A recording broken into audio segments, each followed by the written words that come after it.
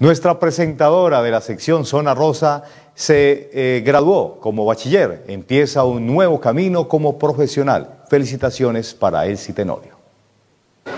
El anhelo de graduarse como bachiller para Elsie Tenorio se cumplió en la tarde de este viernes en la institución educativa de Occidente en Tuluá. Por supuesto, ya que es un nuevo logro, eh, prometí y, y he cumplido. Un día le prometí a Marcela Gaiza que no la decepcionaría y hoy es ese día. También le prometí a mi mamá y por supuesto cumplí. Logro que dedicó primeramente a Dios y a su familia. Creo que le diría que a mi mamá, a mi mamá por su entrega, por su dedicación, a mi mamá porque creo que sin ella nada de eso hubiese sido posible. En especial que hoy lo que soy es gracias a ella. Ahora su visión será emprender una carrera profesional, sin dejar de lado una de sus pasiones, los medios de comunicación.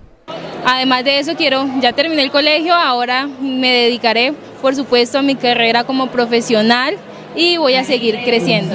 Es lo que espero. Mucha alegría en, en mirar todo eso, ese logro que ha tenido en el día de hoy. Ha sido una niña muy ficiosa, muy, muy muy dedicada a su estudio, a su labor. CNS Noticias extiende las felicitaciones a esta mujer que culmina un ciclo y comienza uno nuevo en su vida.